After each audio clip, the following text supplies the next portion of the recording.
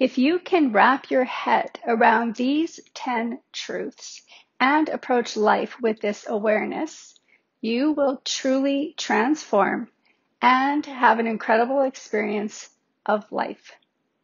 Number one, you will never control anyone or anything outside of you. Number two, if you woke up today, you have everything you need.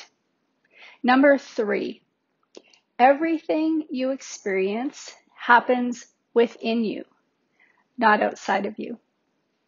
Number four, you always have choice. And your choice either comes from love or it comes from fear. Number five, you don't respond to what happened to you.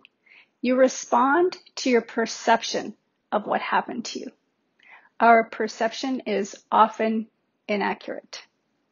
Number six, our insecurities, our defense behaviors, and our limiting beliefs are a result of our trauma. We all have trauma, some of which we aren't aware of. I certainly wasn't. Number seven, triggers are something to be grateful for.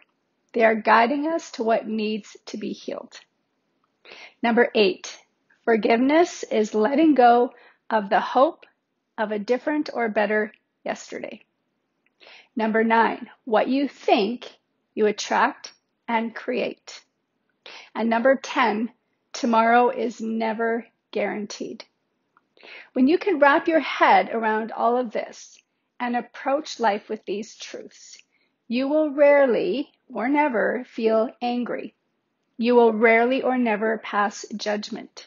You will rarely or never experience stress, anxiety, depression, or other unpleasantness. You will find freedom and you will experience joy and you will find gratitude for absolutely everything, even the challenges and struggles of life. This is living consciously.